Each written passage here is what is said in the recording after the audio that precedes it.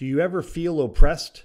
Would you like to learn how to hold government accountable? Basically, you're standard citizen activist because someone stepped on me and I'd said no more. Right? And I helped them not get stepped on.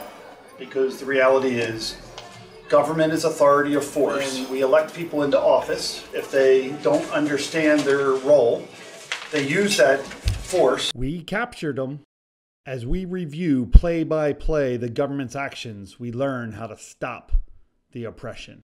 Learn why it's time to take their seats. See the whole video on holding your government accountable.